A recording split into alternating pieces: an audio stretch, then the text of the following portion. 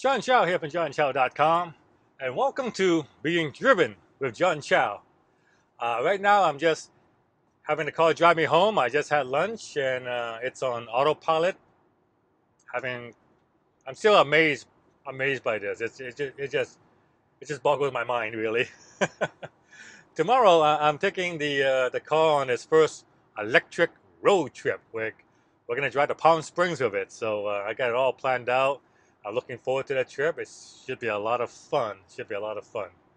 I, of course, I plan to take advantage of the autopilot and just and just relax. Just relax. It's kind of cool. anyway, uh, what I want to talk about is uh, safety, safety, and whether or not this is safe. I mean, a lot of people are asking me like, "This sounds sounds dangerous," and on the surface, it might seem kind of dangerous, but you know, the truth of the matter is, like anything else, once you examine the number, it's actually this is pretty damn safe because you look at so, so far, uh, according to Tesla, they have accumulated like something like 75 million miles of autopilot driving. All the Tesla has been using the autopilot for 75 million miles, and out of that 75 million miles, only three incidents has been reported and in each of those incidents, it was always driver errors that caused the incident. And the last one was somebody claimed that, oh, the car just drove in, drove itself into into a building, and the Tesla log showed that the guy stepped on a stepped on an accelerator by mistake. Right. So, 75 million miles of safe driving, and right now, uh, I think they're getting they're doing about how many millions of miles every single day. So this gives you an idea of it's 75 million miles, no incident.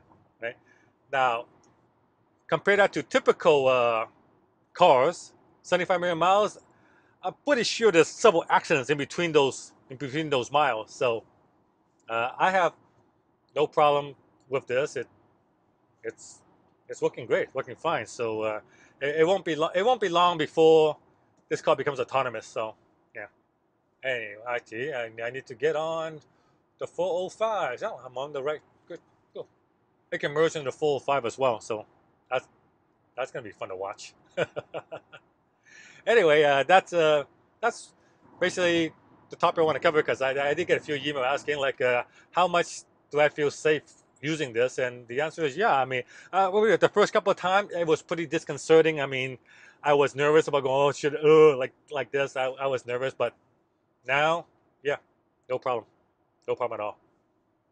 I just gonna, I'm gonna, I'm gonna let it merge onto the full five south for me, and I won't have to take control of this car until I take the off ramp to home.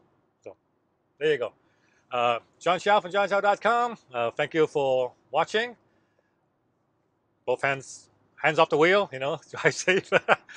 give me a thumbs up if you like. Give me two thumbs up if you like this, and uh, I will see you guys on the next episode.